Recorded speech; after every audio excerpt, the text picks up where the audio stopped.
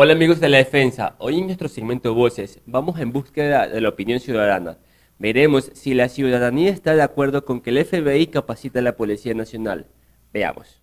Yo creo que eso habla un poco bien del gobierno porque estamos hablando de que abre las puertas para que un ente que tiene una imagen un poco más seria pues capacite a nuestro personal.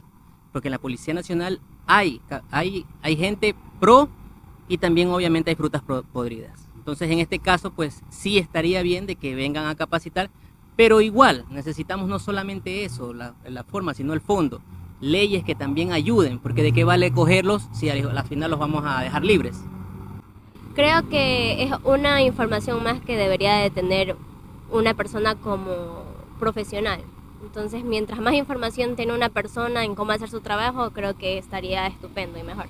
El FBI es mucho más avanzado tecnológicamente y ayudaría bastante, qué sé yo, en, el aspecto de, de cámaras, de seguridad, de, de audio, o sea, no sé, una forma más, más, más rápida para así por lo menos disminuir todo lo que hoy en día pasa, porque es todos los días que pasa esto aquí en el país se llega a algo porque si mientras las autoridades que, que conforman los consejos, este, los, jueces y todo, y entonces no, no hacen cumplir las leyes, ¿de qué sirve que preparen a la policía si de nada va a valer eso?